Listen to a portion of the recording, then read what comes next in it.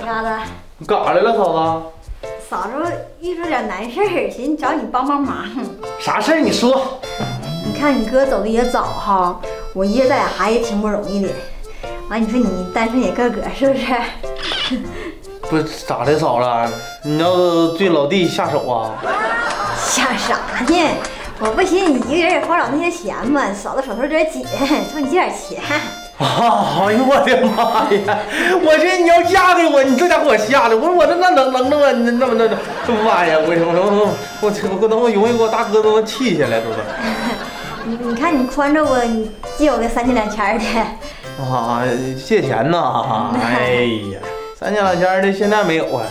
那你你看我这嫂子遇着难处，你不得帮一把吗？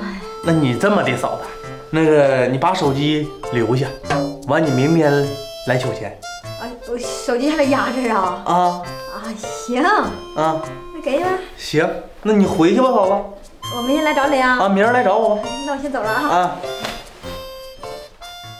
Tomorrow.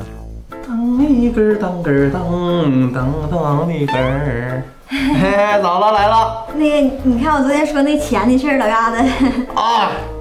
嗯，都给手机里呢，你看看吧。挺快哈。那不止三千，妈，这咋到一万五的啊？哼，好几个人给你转的。嘿嘿好几个人给我转，啥意思啊？我给你发个朋友圈，我怀孕了。哎呦我的妈！哎，你这老嘎子，你你你这扯这事儿多不好，你让人知道好像我咋回事似的，你这。该说不说，嫂子啊，你这人缘混的不错呀。